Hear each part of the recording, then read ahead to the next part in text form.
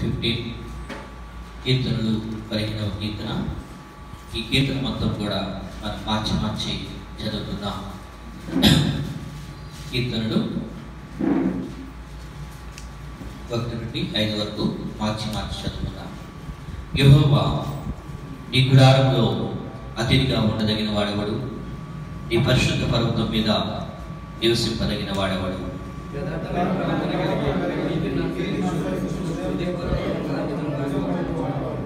అతివాడు నాలుకతో పుణ్యములాడడు. తన చెలికానికి కీడు చేయడు. తన పొరుగు వారి మీద నింద మోపడు.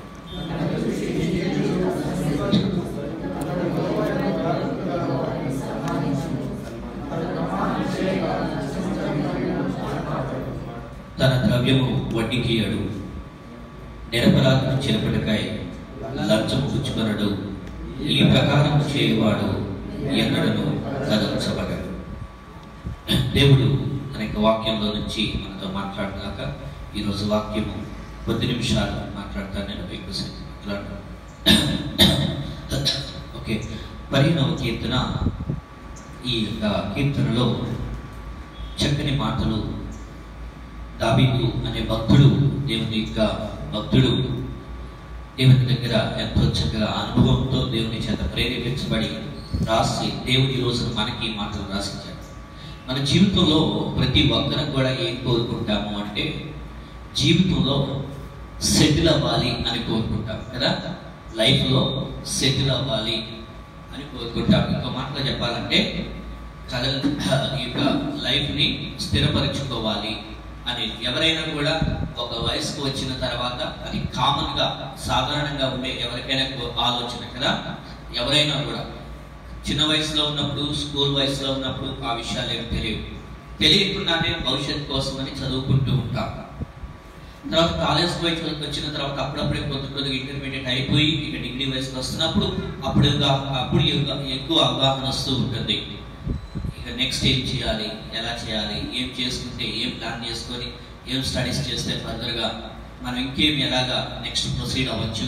లైఫ్లో ఏదైతే బాగుంటుంది అని నెక్స్ట్ ప్రొసీడ్ అవ్వడం కోసం లైఫ్లో సెటిల్ అవ్వడం కోసం చాలా చక్కగా మనం ప్లాన్ వేసుకొని ఆ దిశగా వెళ్తూ ఉంటాం. చదువుకునే వారైతే స్టడీస్ని బట్టి చదువు లేకుండా మాకు వేరే ఉద్యోగ రీతిగా లేదా ఇంకొక రకంగా అయితే నెక్స్ట్ స్టెప్ ఏం చేస్తే మనకి నెక్స్ట్ ఎలాగా బాగుంటుంది అని ఒక వయసుకు వస్తున్నాము అంటే లైఫ్లో సెటిల్ అవ్వాలి అనేటువంటిది ప్రతి ఒక్కరికి కూడా అది మనకు ఉండాల్సిన కోరిక తర్వాత దేవుడు కూడా మనకి పెట్టినటువంటి బాధ్యత.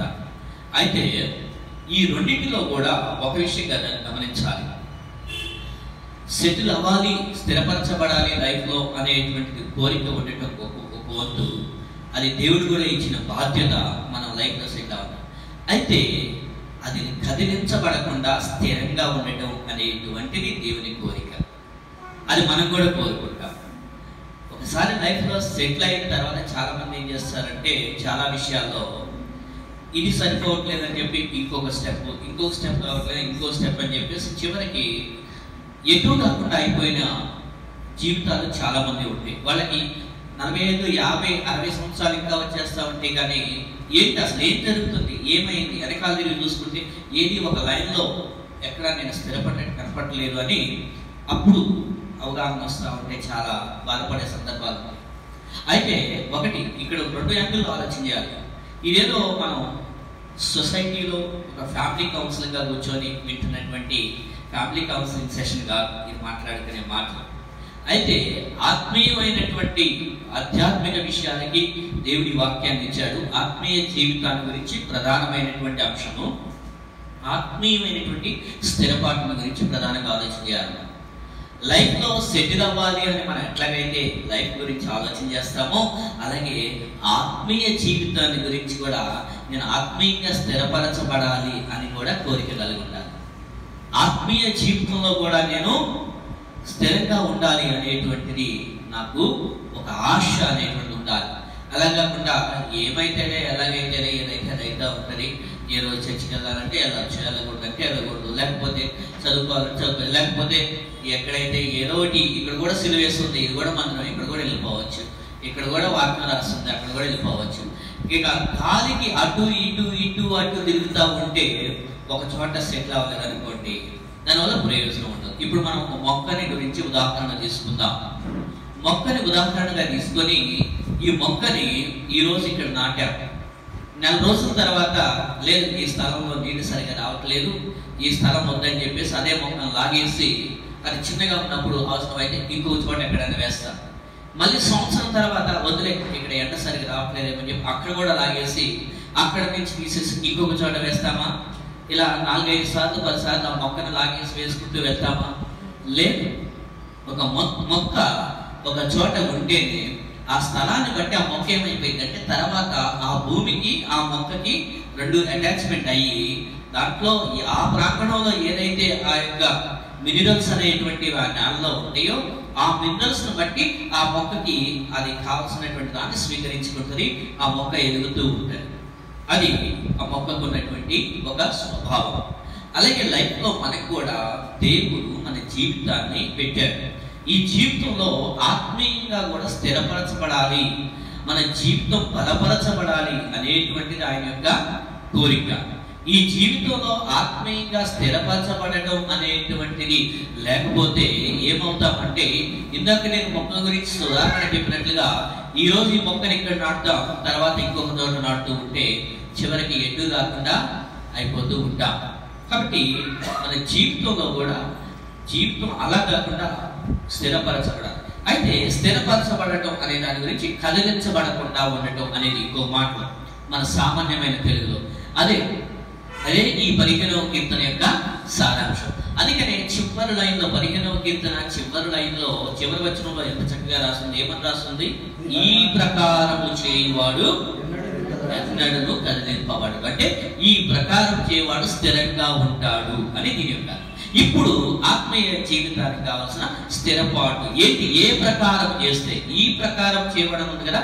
ఈ ప్రకారం అంటే ఏ ప్రకారం చేస్తే లైఫ్ సెటిల్ అయింది అనేది మన లైఫ్లో సెటిల్ అవ్వడం కోసం ఇందాక సాధారణంగా చెప్తున్నా లైఫ్లో స్టడీస్ ఎడ్యుకేషన్ తర్వాత ఇంకా మంచి జాబ్ ఇవన్నీ ఓకే గుడ్ అయితే ఆత్మీయ జీవితానికి వచ్చిన స్థిరపాటు దేవుడిలో స్థిరపాటు ఏంటంటే పైనుంచి అన్ని చక్కగా రూల్స్ అండ్ రెగ్యులేషన్స్ మంచిగా రాశారు. ఏమనుందంటే యహోవా నీ గుడారంలో అతిథిగా ఉండదగిన వాడెవడు?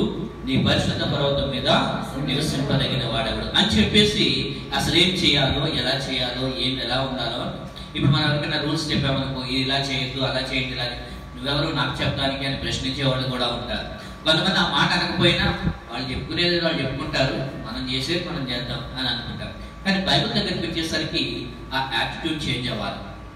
బైబిల్లో మనకి ప్రయోజనం కొరకు రాసింది మన జీవితం కదిలించబడకుండా స్థిరంగా ఉండాలని దేవునికి కోరిక కాబట్టి ఇందులో కొన్ని రూల్స్ రాశారు. ఏం రాశారు అంటే ఇక్కడ ఉంది యథార్థమైన ప్రవర్తన కలిగి నీతిని అనుసరించు హృదయపూర్వకంగా నిజము పలికివాడు హృదయపూర్వకంగా నిజం పలికివాడు ఇక్కడ చూసారా యథార్థమైన ప్రవర్తన నీతిని అనుసరించడం హృదయపూర్వకంగా నిజం చెప్పడం ఇవి ఉంటే జీవితంలో ఖచ్చితంగా కదిలించబడకుండా స్థిరంగా ఉంటాం. మన హృదయాన్ని మనం పరీక్ష చేసుకున్నప్పుడు ఈ పాయింట్లో ఎక్కడ మిస్ అవుతున్నాం అనేది అది మన పరీక్ష కోసం సెల్ఫ్ ఎగ్జామినేషన్ కోసం అది మనం అర్థం చేసుకోవాలి. అట్టివాడు నాలుకతో కొండెమలాడాడు తన చెలికానికి కీడు చేయడు తన పొరుగు వారి మీద నింద మోపడు మనం చేసిన పొరపాటుకి వెరిటి వాళ్ళ మీద నింద మోపడు ఇది ఎందుకు ఇట్లా జరిగిందంటే నేను కాదు ఆయన ఆయన కాదు ఆయన. ఈ నింద మోపడం అనేది ఎక్కడి నుంచి వచ్చిందో తెలుసంటే నింద మోపడం అనేది ప్రారంభంలోనే వచ్చింది. ఎక్కడ? హవా ఆదాములు ఏదేను వనంలో ఉన్నప్పుడు వాళ్ళు చేయొద్దన్న తప్పు చేశారు పాపం చేశారు. ఆ తర్వాత దేవుడు వచ్చి అడుగుతుంటే దేవుడు వచ్చి ఆదామా ఆదామా అని పిలిస్తే ఫస్ట్ ఆఫ్ ఆల్ వాళ్ళు తప్పించుకోవడానికి ప్రయత్నం చేశారు. తర్వాత పిలిచినందుకు ఆదాము ఏం చేశావంటే ఆదాము ఏం చేశాడు? నేను కాదయ్యా నువ్వు ఇచ్చిన హవా నువ్వు ఇచ్చావు అని మళ్ళీ తిట్టాడు. ఒక ప్రక్కన దేవుడు నిందిస్తున్నాడు ఒక ప్రక్కన హవ్వని. తర్వాత హవ్వని పిలిస్తే నేను కాదయ్యా అదిగో ఆ సర్పం. ఇలా ఒకరి మీద ఒకరు నిందలు మోపు. ఎవరు కూడా ఎస్ ఐ మేడ్ మిస్టేక్ నేనే తప్పు చేశాను. నా వల్ల నేను అయిపోయిందని అనుకోవడానికి అంత తొందరగా రాదు ఆ మాట. కానీ ఇక్కడ ఏమంటుందంటే తన పొరుగు వారి మీద నింద మోపక. అంటే నింద అనేటువంటి రెండు రకాలు. ఒకటి మనం చేసిన తప్పుకి ఇంకొకరిని బ్లేమ్ చేసి చెప్పడము. రెండవది అవతల వ్యక్తి గురించి ఏదైనా సంబంధం జరిగినప్పుడు దాన్ని నిందిస్తూ కూర్చుంటడం వల్ల అక్యూజ్ చేస్తూ అన్యాయంగా అక్యూజ్ చేయడం కూడా అంటే మన ప్రమేయం తప్పిన అంటే వేరే విషయాల గురించి కూడా మనకి నిజమేంటో అసత్యమేంటో తెలియకుండా వేరే ఒక సందర్భాన్ని గురించి వెంటనే ఇతడే నిందితుడని సాక్ష్యాలు చెప్పకుండా సాక్ష్యాలు లేకుండా నిందితుడని వెంటనే డిక్లేర్ చేయడం కూడా కరెక్ట్ కాదు. సో ఇలాంటి విషయాలన్నిటి గురించి రాస్తాం. ఇలా చేస్తూ ఉంటే అప్పుడు ఏమనుందంటే చివరిలో ఈ ప్రకారం చేయవాడు. అప్పుడు లైఫ్ సెటిల్ అయితే ఎందుకన్నా నా లైఫ్ సెటిల్ అవ్వట్లేదు అని బాధపడతామేమో. ఇదిగో ఇక్కడ ఉన్నాయి రూల్స్ అండ్ రెగ్యులేషన్స్ ఇవి చేస్తూ ఉంటే లైఫ్ సెటిల్ అయితే అయితే ఆత్మీయంగా సెటిల్ అయితే లైఫ్లో సొసైటీలో ఫ్యామిలీలో పర్సనల్గా ఎవ్రీథింగ్ దేవుడు మనకి ఇస్తాడనమాట ఇంకా కొన్ని విషయాలు ఉన్నాయి. మనం నేను ఇందాక చెప్పినట్టుగా త్వర త్వరగా నేను ముగించేస్తానని కొన్ని విషయాలు.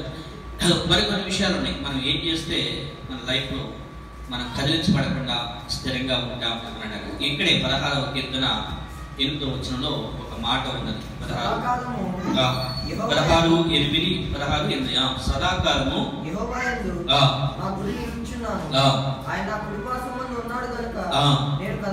ఆయన నా కుడి పార్శ్వమందు ఉన్నాడు కనుక నేను కదల్చబడ్డాను. దానికంటే ముందు ఏం చెప్పాడు? సదాకాలము.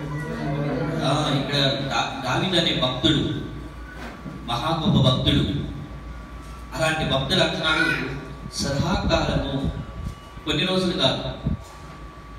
కొన్ని ప్రాంతాల్లో కాదు కొన్ని సందర్భాల్లో కాదు. సదాకాలము అంటే ఎల్లప్పుడూ. అన్ని సందర్భాల్లో అన్ని విషయాల్లో కూడా ఏం చేస్తున్నాడంట? యహోమయందు నా గురి నిలుచున్నాను అన్నాడు కానీ నాకు రాజరత్నం కలిగి ఉన్నాను అధికారం కలిగి ఉన్నాను సింహాసనం కలిగి ఉన్నాను వాటి మీద నా గురి పెట్టుకుంటున్నాను నేను పవర్ మీద దృష్టి పెట్టుకున్నానని వాటి మీద ఫోకస్ చేస్తున్నానని చెప్పుకున్నాడా? ఏమండి? ఏమని ఫోకస్ చేస్తున్నాడంట? దేని మీద ఫోకస్ చేస్తున్నాడంట? దేని మీద తన యొక్క లక్ష్యం అంతా కూడా ఉంది? యుహోవాయందు ఆయన ఉన్నాడు అని చెప్పి ఆయన చూస్తూ ఉంటే అప్పుడు దేవుడిని కదిలించబడకుండా ఉంటాడు. దేవుడు మనల్ని కదిలించకుండా స్థిరంగా ఉంచుతాడు. ఈ విషయాన్ని గురించి అర్థం చేసుకోవడానికి మనం ఒక మాట గమనించాలి. ఒకసారి యేసు క్రీస్తు వారు నీళ్ళ మీద నడుచుకుంటూ వస్తున్నాడు. నీళ్ళ మీద నడుచుకుంటూ వస్తుంటే శిష్యులు అర్థం చేసుకున్నారు వస్తున్నవాడు ఎవరని భయపడ్డారు ఫస్ట్. తర్వాత యేసు క్రీస్తు వారు చెప్పారు ఎవరంటే నేనే అన్నాడు. అప్పుడు వాళ్ళు అర్థం చేసుకున్న తర్వాత యేసు క్రీస్తు వారు నేనే అని చెప్పిన తర్వాత వాళ్ళల్లో ఒక శిష్యుడు అన్నాడు అయ్యా నేను కూడా నడుస్తానన్నాడు. ఎవరు? పేతురు.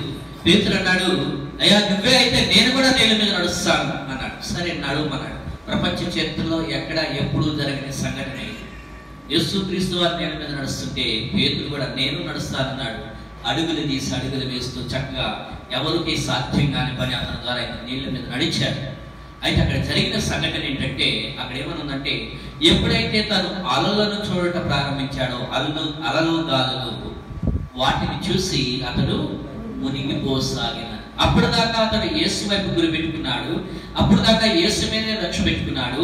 యేసునే చూస్తూ ఉన్నాడు. ఆయన చేయగలుగుతున్నాడు కాబట్టి నేను కూడా చేస్తున్నాను. ఎవరు చేయలేని నేను చేస్తున్నానంటే నా దృష్టి అంతా అక్కడ ఉంది అనేది పెట్టుకొని నడుస్తూ నడుస్తూ ఎప్పుడైతే తన ఫోకస్ తన దృష్టి తన గురి తన లక్ష్యం వేరే వాటి మీదకి మళ్ళిందో మునిగిపోసాడు మన జీవితంలో ఎందుకు మునిగిపోతున్నాము అనేటువంటి ప్రశ్న ఉంటే ఇక్కడ మనకి సమస్యకి పరిష్కారం కలుగుతుంది. మన దృష్టి ఆయన మీద నుంచి వేరే మీద వెళితే మన లక్ష్యం ఆయన కాకుండా వేరేది పెట్టుకుంటే ఖచ్చితంగా కొంతకాలం బాగానే ఉన్నట్టున్న తర్వాత మునిగిపోతాం. ఇక మునిగిపోయిన తర్వాత అప్పుడు పైకి లేవడానికి కూడా ఎవరు ఉండకపోవచ్చు. జీవితంలో మనం మునిగిపోకుండా స్థిరపరచబడాలి అంటే మన దృష్టి మన యొక్క లక్ష్యము అంతా కూడా దేవుని యొక్క ఉండాలి. అందుకనే హెబ్రి రాష్ట్రపతి పరిణామం ఏమంటుందంటే విశ్వాసమునకు కర్తయు దానిని కొనసాగించువాడనైనా యేసు వైపు చూచుచు. నీ పరిస్థితుల వైపు చూడొద్దు. అలలు తుఫానులు గాలులు ఆ సమస్య ఈ సమస్య ఇవన్నిటి మీద దృష్టి పెడితే ఆటోమేటిక్గా మునిగిపోవడం అనేది జరుగుతూ ఉంటుంది. కానీ ఎప్పుడైతే యేసు వైపు ఆయన మీద లక్ష్యం పెట్టుకున్నాడు. ఎందుకంటే ఆయన అసాధ్యులు అసాధ్యాలను సుసాధ్యాలు చేసే దేవుడు ఆయన. బైబిల్లో ఉంది ఆయన సమస్తమును సాధ్యమే. మన చేత కాదు ఏవి ఆయన కానీ ఆయన చేయగలడు. నేల మీద నడవడం పేదరికి చేత కాదు కానీ దేవుడు నడిపించాడు ఆయన. ప్రపంచ చరిత్రలో గొప్పగా మిగిలిపోయాడు. అది జరిగింది కాబట్టి. కాబట్టి అసాధ్యాలను సుసాధ్యాలుగా చేసిన ఆయన ఉన్నాడంటే ఆయన మీద దృష్టి దృష్టి పెట్టినంతసేపు కూడా గట్టిగా వెళ్తాం లేదనుకోండి దిగజారిపోయే పరిస్థితులు వస్తూ ఉంటాయి. ఒకసారి ఒక పరుగుల పరుగుల పందెంలో పరిగెడుతూ ఉన్నటువంటి వ్యక్తి తర్వాత అర్థం చేసుకున్నది ఏంటంటే తను ఓడిపోయాడు అని. ఎప్పుడు గెలిచే వ్యక్తి ఎందుకు ఓడిపోయాడు అంటే మధ్యలో తనకి ఏం జరిగింది అంటే కొన్ని బంగారపు బిస్కెట్లు ఎవరో దారిలో విసిరేశారు. ఆ బంగారపు బిస్కెట్లు ఎదుర్కొనే పనులు పనులు అక్కడిక్కడ ఉండేసరికి ఈలోపు దాటుకుంటూ వెళ్ళిపోవాల్సిన వాళ్ళు వెళ్ళిపోయారు. దాటుకుంటూ వెళ్ళిపోయారు. దాటుకుంటూ వెళ్ళిపోయారు. ఇలా దాటుకుంటూ వెళ్ళిపోయారు. ఇతను మాత్రం ఇక్కడ బిస్కెట్లు ఎరుకునే పనిలో బిజీగా ఉన్నాడు. బంగారు బిస్కెట్ కదా తీవ్రంగా ఓడిపోయాడు జీవితంలో మనం కూడా ఏసువై పరిగెడుతూ సాధ్యం చేసుకోవాలని ముందుకు వెళ్తూ ఉంటే సాధారణ కొన్నిసార్లు మన ఫోకస్ చేంజ్ చేయడానికి కొన్ని రకాలైనటువంటి శ్రమలైనా తీసుకొస్తాడు లేకపోతే కొన్ని రకాలైన ఆకర్షణలైనా తీసుకొస్తాడు అట్రాక్షన్స్. ఈ రెండింటిలో ఏదో ఒకటి జరిగినప్పుడు ఆటోమేటిక్గా మన యేసు మీద నుంచి మన దృష్టి నిలుపుతో మానివేస్తే మునిగిపోవడానికి జీవితంలో కూలిపోవడానికి అవకాశాలు ఉంటాయి లైఫ్లో సెటిల్ అవ్వాలి కదల్చబడకుండా స్థిరంగా ఉండాలంటే ఎగోవా ఎందుకు ఎల్లప్పుడూ అన్నాడు కానీ ఎప్పుడో సంవత్సరానికి ఒకసారి అంటే ఏమండి? ఏ- కొంతమంది చెప్తుంటారమ్మా మీరు వేసుకొని ప్రార్థన చేస్తారంటే ఏం చేస్తామండి? క్రిస్మస్ క్రిస్మస్కి చర్చికి ఉంటారు అప్పు భక్తి చాలా గొప్ప ఉందనుకో కొంతమందికి ఏంటంటే క్రిస్మస్ రోజు చర్చికి వస్తే భక్తి గొప్ప అనుకుంటారు. ఐ డోంట్ లైట్ వస్తుంది. సో ఈ యొక్క దేవుడిచ్చినటువంటి భాగ్యం ఏంటంటే నేను ఎల్లప్పుడూ మీకు అందుబాటులో ఉంటా నా మీద దృష్టి పెట్టండి అని అంటున్నాడు. అలా దృష్టి పెట్టినప్పుడు కదల్చబడకుండా ఉంటాం. కాబట్టి దేవుడి మీద దృష్టి పెడతాం కదల్చబడకుండా స్థిరంగా ఉన్నాం. ఇక ఇక్కడే మళ్ళీ కీర్తన ఇరవై ఒకటవ కీర్తన ఏడవ వచనంలో మరొక మాట కూడా ఉంది. ఇరవై ఒకటి ఏడు.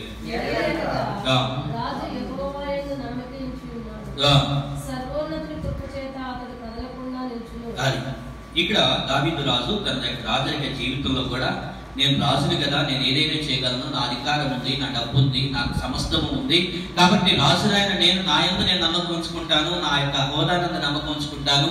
నాకున్నటువంటి సర్వశక్తులు కలిగినటువంటి వాటికి నాకున్నటువంటి శక్తి సామర్థ్యతల మీద నన్ను నమ్మకం పెట్టుకుంటానని అంచలేదు కానీ ఎంత బాగా చక్కగా అంటున్నాడంటే ఏలైక రాజు యహోవా నమ్మకం నమ్మక ఇచ్చుచున్నాడు యహోవా యందు నమ్మక ఇచ్చుచున్నాడు. ఎన్ని ఉన్నప్పటికీ కూడా మనం దేవుని అందు నమ్మకం ఉంచకపోతే జీవితంలో స్థిరపరచబడం ఎప్పుడైతే జీవితం మీద స్థిరపరచ దేవుని మీద నమ్మకం ఉంచుతామో అప్పుడు ఏం చేస్తాడంటే ఆయన కృపచేత అదే ఉంది కదా ఇక్కడ ఏమన్నది? సర్వోన్నతుని కృప చేత మన భక్తి జీవితం కాదు మరలా. ఇది కూడా విషయం గమనించాలి. భక్తి జీవితాన్ని బట్టి మన మీద స్థిరంగా ఉన్నాం అనేది కూడా అనుకోవద్దు మరలా. అది కూడా చెప్తున్నాడు ఇక్కడే. ఆయన కృప మాత్రమే. సర్వోన్నతుని యొక్క సర్వానికి ఉన్నతంగా ఉండే అతను కృప చూపిస్తే ఇంక మధ్యలో వాళ్ళు ఎవరి జాలు చూపించినా చూపించకపోయినా ఎవరు ఏ రికమెండేషన్ ఉన్నా లేకపోయినా మనకి సంబంధం లేదు. సర్వోన్నతుడైన ఆయన కృప చూస్తూ ఉంటే మన జీవితంలో అన్నీ కూడా మనకి క్షుణ్ణంగా జరిగిపోతూ ఉంటాయి దేవుడు అన్ని కూడా చేసుకుంటూ వెళ్తూ ఉంటాడు. దేవుని యొక్క ఫేవర్ అనేది మన మీద నిన్నే అనుకుంటా నిన్న మొన్న వాట్సాప్ గ్రూప్లో పంపించాను. దేవుని యొక్క ఫేవర్ మన మీద ఉందనుకోండి ఇంకెవరి ఫేవర్ గురించి ఎక్కువ ఆలోచన చేయను. కదా? దేవుని యొక్క ఫేవర్ అనేది ఉండాలి అంటే సర్వనత కృప ఉంటే మన లైఫ్ అనేటువంటిది సెటిల్ అయింది అది లేకుండా మనంతటి శక్తి సామర్థ్యతలతో ఇన్ని చేయాలని చేసినా కూడా చివరికి ఒక సామెత చెప్తూ ఉంటాం బైబిల్లో కూడా వచ్చిన ఉంది. ఎంత సంపాదించా సంచులో వేసినా కూడా ఏమైందంట? గ్రంథం ఏముందంట దానికి? కింద సంచికి చిరిగిపోయింది కనపడదు ఏమైపోతున్నా అంటే ఒక ఎగ్జాంపుల్ నేను ఓన్లీ ఫైనాన్స్ మ్యాటర్స్ గురించి హైలైట్ చేయట్లా. టేక్ ఇట్ అన్ ఎగ్జాంపుల్ ఉదాహరణ చెప్తున్నా అట్లా లైఫ్లో ఏదో సాధించి ఎట్లా చేద్దామని కూడా చివరికి నీరు గారిపోతున్న సందర్భం వస్తుందా అంటే కుమిలిపోనక్కర్లా అంతటితో డిస్కరేజ్ అవ్వనక్కర్లా. కానీ స్థిరపరచడానికి ఆయన ఎదురు చూస్తున్నాడు మనం కూడా స్థిరపరచబడతాం. ఎప్పుడంటే ఆయన ఎందు నమ్మకం ఇచ్చినప్పుడు ఆయన కృప చేత స్థిరపరుస్తాడు. ఇంకెప్పుడైనా నా లైఫ్ సెటిల్ అయ్యేది అని దాని అనుకున్నాడు దేవుడు ఆయన రాజుగా చేశాడు. యోసేపు జీవితంలో ఆయన గొప్ప సింహాసనం ఎక్కించాడు. మనల్ని కూడా చేస్తాడు. ఇలాగ దేవుడు గొప్ప కార్యాలు చేసుకుంటూ వెళ్తాడు మన జీవితాన్ని స్థిరపరుస్తాడు. మరొక మాట చూద్దాం. స్థిరపరుస్తాడు అనడానికి నలభై ఆరవ కీర్తన ఐదవ వచనం. నలభై ఆరు ఐదు కీర్తన? దేవుడు ఆ పట్టణంలో ఉన్నాడు. దానికి చలనం లేదు. దేవుడు దానికి సహాయం చేయుచున్నాడు. ఓకే. ఇక్కడ పట్టణము అనేటువంటి దానికి దేవుని సంఘం అని కూడా మనం సాదృశ్యంగా ఆలోచన చేయొచ్చు. లేదా వ్యక్తిగత జీవితానికి కూడా మనం దీన్ని సాదృశ్యంగా తీసుకోవచ్చు దేవుడు ఆ పట్టణంలో ఉన్నాడు కాబట్టి దానికి చలనం లేదు అంటే కదిలించబడకుండా స్థిరంగా ఉంది. ఎందుకు వాళ్ళ ఫ్యామిలీ అంత చక్కగా స్థిరంగా ఉంది? లేదా ఎందుకు అంత స్థిరంగా ఉన్నాడు? ఎందుకు పలానా వ్యక్తి సో అండ్ సో సంఘం స్థిరంగా ఉంది? అంటే ఏమైందంటే అక్కడ ఏం జరిగింది?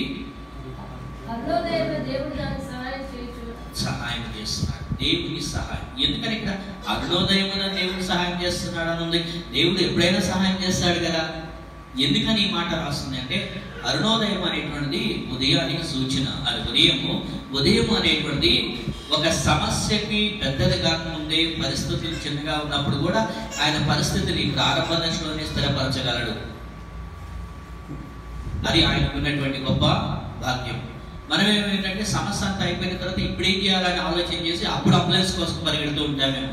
కానీ ఆయనకు ముందుగానే తెలుసు అందుకే అరుణోదయం ప్రారంభంలోనే స్టార్టింగ్ డే డే స్టార్టింగ్ అవర్స్లోనే మనం ప్లాన్ చేసుకుంటే ఈవినింగ్ వరకు కూడా అన్ని చేసుకోగలం. మధ్యలో ఏ అవంతరాలు లేకుండా.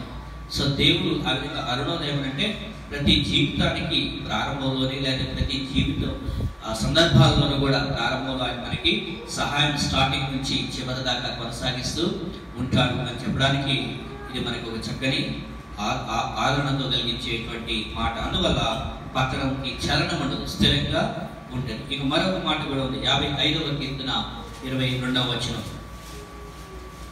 యాభై ఐదు ఇరవై రెండు. ఆయన నిన్ను ఆదుకులను కదలనీయడు. సో ఇక్కడ ఎంత చక్కని వాగ్దానము ఎంత చక్కని హెచ్చరిక రాస్తుందంటే హెచ్చరిక ఏంటంటే నీ భారాన్ని ఆయన మీద మోపము అన్నాడు. మన పని మన మీదే మన నెత్తి మీదే పెట్టుకొని కూర్చోమని చెప్పలేదు కానీ నీ భారాన్ని ఆయన మీద మోపమన్నాడు. అప్పుడు ఏం చేస్తాడంటే ఆయన నిన్ను ఆదుకుంటాడు. ఆదుకున్న తర్వాత ఏం చేస్తాడు? ఆయన ఎన్నడూ కూడా మనం ఏం చేస్తామంటే ఏంటి నా పరిస్థితి? ఇలా ఎందుకు వచ్చింది? అలా ఎందుకు వచ్చింది? అని చెప్పి మన సొంత ప్రయత్నంతో ఏదో చేయాలని ఆ భారం అంతా హృదయంలో పెట్టుకొని ఎక్కడో ఇదంతా గుండె భారం అయిపోయి బరువు ఎక్కిపోయి ఏం చేయాలో అర్థం కాక కుమిలిపోతూ వేదనతో బయటకి చెప్పుకోలేక ఇంట్లో ఇన్ని పరిస్థితుల్లో ఉంటే ఆయన అంటాడు సింపుల్. నువ్వు నా నా నీ యెహోవ మీద నీ భారాన్ని మోపించాలి. అంటే దాని అర్థం ఏంటి? ప్రార్థన చేయండి. ఎంతమంది ప్రార్థన చేస్తాను ప్రార్థన చేయటం అంటే గుడికిరిపోయి రుణాలు కంటే ప్రార్థనలో గడపాలనేది కాదు. దేవుని దగ్గర మొరపెట్టుకోవడం అలవాటు చేసుకోవడం. ఆయన మీద మోపడం అంటే ఆయన అప్పచెప్పడం. ఆయన దగ్గరికి వెళ్ళి చెప్పుకోవడం. దేవా నా సమస్య ఇది. నా పరిస్థితిని నా జీవితం ఇది. ఎందుకు ఇలా జరిగింది. అంటే నా పరిస్థితులు నా పనులు ఇలా ఉన్నాయి. నెల మొత్తం నా పరిస్థితి ఇది. అప్పచెప్తే ఆయన ఉన్నాడు. ఆదుకోవడానికి ఆదుకుంటాను అంటే ఇక్కడ. తర్వాత కదలనీయడు అని కూడా ఉంది. స్థిరంగా ఉంచుతారు చాలా మంది చాలా విషయాల్లో స్థిరత్వం లేకుండా అందులో అందులో అందులో అందులో అందులో అని పెట్టేసి చివరికి ఎటు కాకుండా అయిపోయిన సందర్భాలు.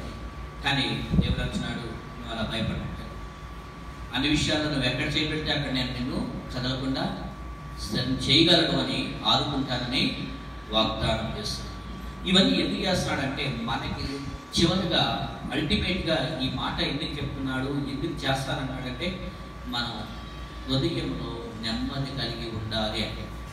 అందుకని ఏషియా గ్రంథం ఇరవై ఆరో అధ్యాయం మూడవ వచ్చంలో చక్కని వాగ్దానం గ్రంథం ఇరవై ఆరు మూడు ఈ మాట చెప్పి నేను ముగిస్తాను ఎవరి మనస్సు ఆ, నీ మీద అనుకును.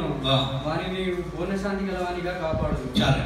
ఎవని మనస్సు నీ మీద ఆనుకున్నదో వానికి పూర్ణ శాంతి అనేటువంటి ఇస్తాడు అనేటువంటి తెలియజేస్తాడు ఎవని మనసు మన మనసు అంతా కూడా ఆయన మీద ఆనుకుంటే అప్పుడు కంప్లీట్ రెస్ట్. పర్ఫెక్ట్ పీస్ అనేటువంటి ఇస్తాడు.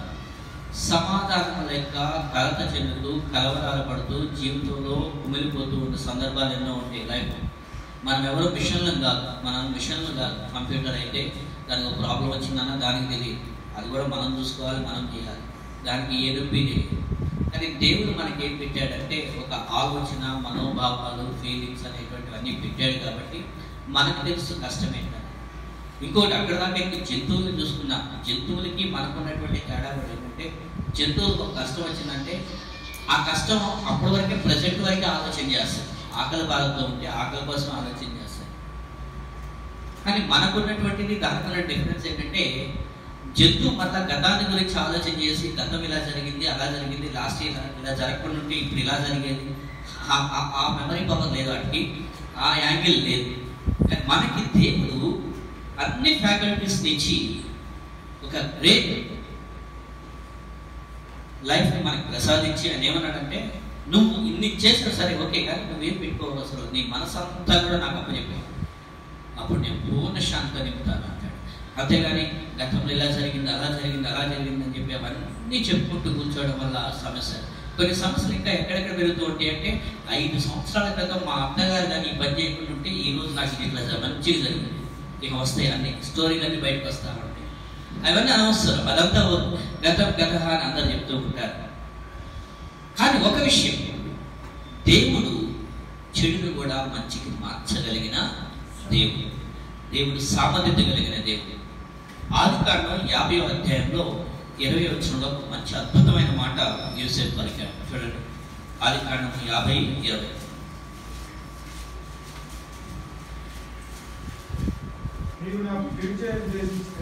నీవు నాకు కీడు చేయని ఉద్దేశించింది కానీ నేటి దినంలో జరుగుతున్నట్లు ఆ, అనగా ఆ, బహు ప్రజలను బ్రతికించినట్లుగా ఆ. అది మేలుకే దేవుడు ఉద్దేశించింది అది మేలుకే దేవుడు ఉద్దేశించెను.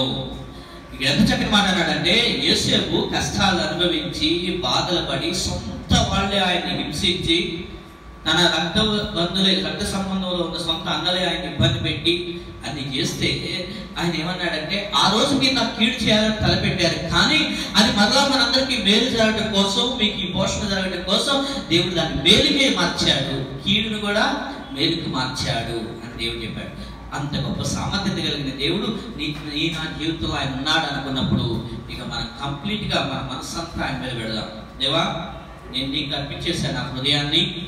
నువ్వు చూసుకో ప్రభా అంటే అద్భుతంగా ఆయన మనకి పూర్ణ శాంతినిస్తాడు. కంప్లీట్ రెస్ట్ ఇస్తాడు. ఇక పీస్ఫుల్ మైండ్తో మనం చక్కగా పండుకోవచ్చు చక్కగా నిద్రపోవచ్చు చక్కగా తినవచ్చు చాలా మంది పీస్ఫుల్ మైండ్ లేకే టెన్షన్ టెన్షన్గా ఉండి సరిగా భోజేయలేక సరిగా నిద్ర పట్టక మనిషి మనిషి అంతా ఏమవుతుందంటే చీకటి అంధకార కలిగలేదు కారణం సాతానుడు వేస్తున్న అగ్ని బాణాలకి మనం తట్టుకోలేకపోతున్న కారణం ఏంటంటే ఒక యాంగిల్ ఏంటంటే మనం పూర్తిగా ఆయన మీద మనసు నిలబడతాం అది ఒక యాంగిల్. కానీ రెండవది ఏంటంటే కొన్నిసార్లు మనం ఎంత పూర్తిగా ఉన్నా కొన్ని సందర్భాల్లో సాకారుడు ఏం చేస్తాడంటే ఇంకా రెచ్చగొడే సందర్భాలు చేస్తూ ఉంటాడు. కానీ ఆ సమయంలో కూడా మనం సైలెంట్గా ఉంటే దేవుడు మళ్ళా కార్యాలు జరిగిస్తాడు కాబట్టి అవి చిన్నవైనా పెద్దవైనా కుటుంబ విషయాలైనా వ్యక్తిగత జీవితమైన అన్ని విషయాలని కదిలించబడకుండా స్థిరపరచడానికి లైఫ్ని సెటిల్ చేయడానికి ఆయన ఉన్నాడు కాబట్టి లైఫ్ గురించి ఎప్పుడు కూడా చిందర వందర ప్రశ్నలు వేసుకుంటూ నా జీవితం ఎట్టిపోతుంది నేనేమైపోతాను నా పరిస్థితి ఏంటి ఏమవబోతుంది అనే దాని గురించి ఎక్కడ ఏ సందేహానికి స్థా- స్థానం ఇవ్వదు కానీ ఈ ప్రకారముగా చేయవాడు ఏముంది ఎన్నడను కదిలించబడడు అని మనం చదువుకున్నట్లుగా కీర్తనలో పదిహేను ఐదులో ఈ ప్రకారంగా చేస్తే ఏ ప్రకారంగా?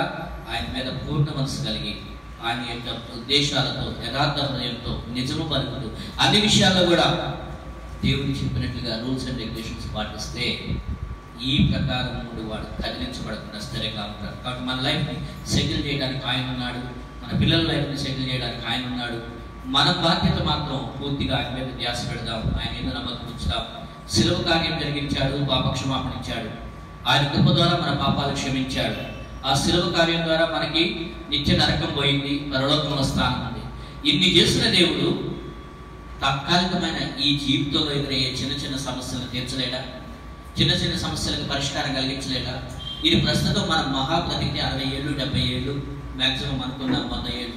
వంద ఏళ్ళు వచ్చినా కూడా మనకు అప్పటికే మనకు ఉన్నటువంటి ఫ్యాకల్టీ అంతా కూడా శరీరం మన కళ్ళు చెవులు విదేశ వినికిడి శక్తి అవన్నీ కూడా ఇబ్బంది పడుతూ ఉంటాం అనుకోండి.